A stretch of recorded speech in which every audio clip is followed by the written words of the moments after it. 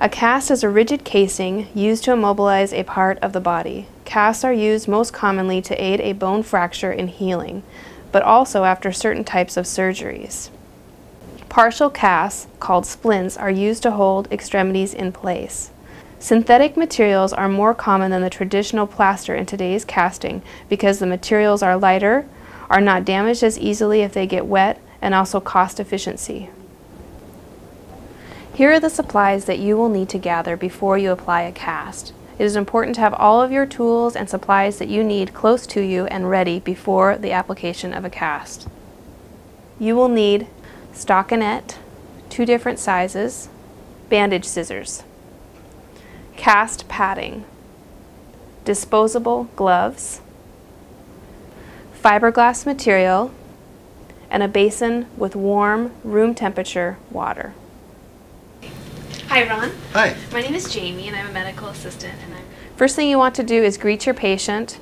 You will need to identify yourself. You will need to ask for the patient's first and last name and date of birth. Have you ever had a cast on before? I have, on my arm. Okay. Okay, so I'm going to be putting one on your leg here. You will need to explain to the patient how you will be applying the cast and what they will need to do to assist you. The first step is that you will need to sanitize your hands. Of padding, and then after the padding, I'm going to do the fiberglass. Okay. Okay. How is the the extremity that you are casting must be exposed and in an area that you can work with it from all sides.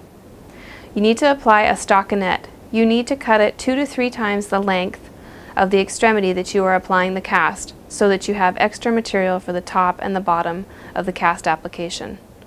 Roll the stockinette and place it on the extremity that you will be casting. It's important to have all wrinkles out of the stockinette so that when the padding is applied, there will not be bunches of material that could cause possible rubbing on the extremity. You want to make sure that you have an excess amount of at least 2 to 3 inches at the top and at the bottom end of the cast by the toes. You will need to make a cut on either side of the malleolus and cut across so that you can lay the stockinette flat.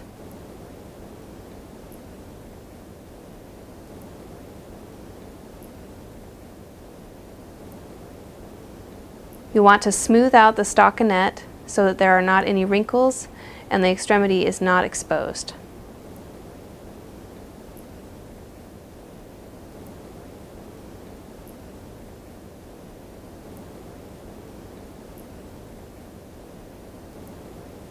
The next thing you need to do is apply the cast padding. The cast padding needs to be applied and rolled evenly all the way up the extremity. You need to take extra care to put extra padding on the bony prominences.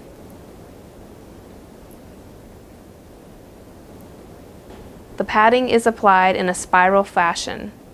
At each turn when there is extra padding at the side, you can rip it away so that it is smooth.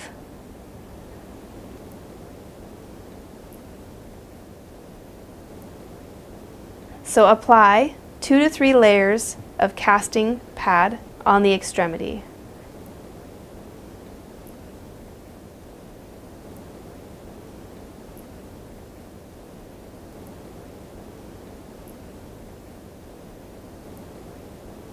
In this case, you want to keep the ankle at dorsiflexion of 90 degrees.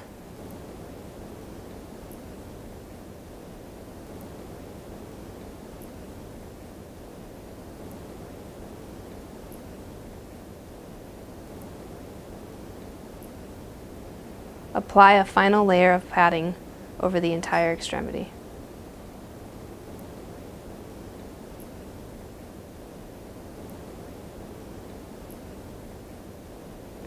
Next you need to apply disposable gloves. Open each cast bandage package immediately before submersing in water so the resin does not begin to harden. Immerse cast bandage and then squeeze out excess water. Application begins at the distal end of the extremity by wrapping the fiberglass material in a spiral fashion with even pressure.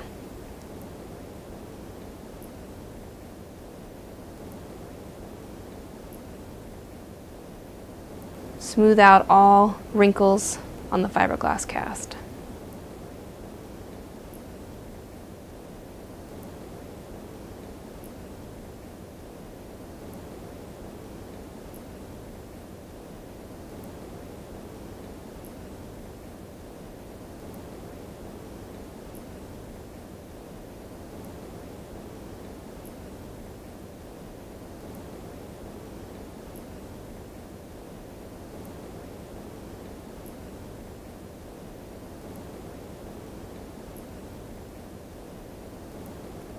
You'll need to smooth out the fiberglass material over the entire extremity.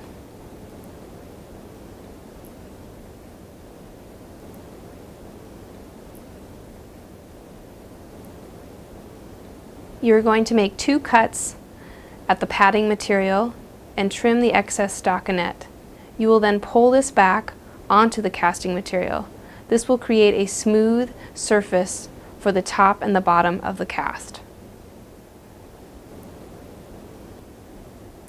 Again, cut away the excess stockinette so that you have about a one inch layer covering the fiberglass material.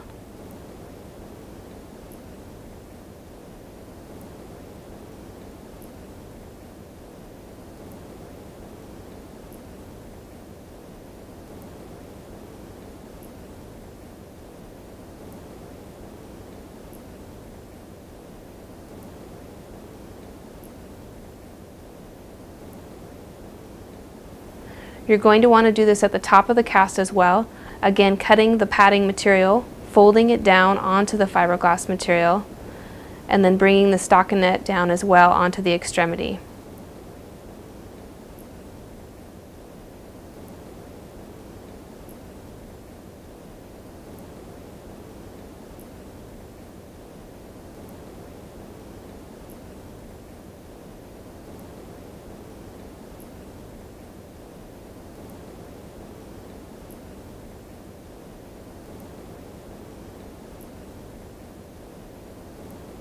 Once you have prepared the top and the bottom of the cast, you will then apply a final roll of fiberglass material all the way down the entire extremity.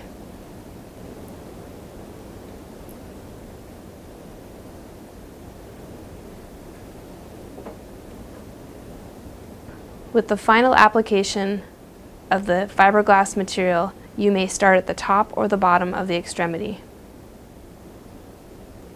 After you have applied the cast, you need to check for circulation and movement, in this case with the patient's toes. Have the patient wiggle their toes and also check for capillary refill to assess circulation. Here are the patient care instructions that should be given to the patient before they leave the doctor's office. Wait one hour before putting weight on the cast. Keep the extremity elevated for 24 to 48 hours. Do not damage the cast. Do not get it wet. Do not put anything into the cast, such as a coat hanger or powder, to scratch an itch or other sensations that you may have. You may use a blow dryer on cool to blow air through the cast to help with itching. You will need to move your fingers or toes regularly. Contact the physician if there is increased pain, numbness, swelling, tingling, paleness, or blueness of the extremity.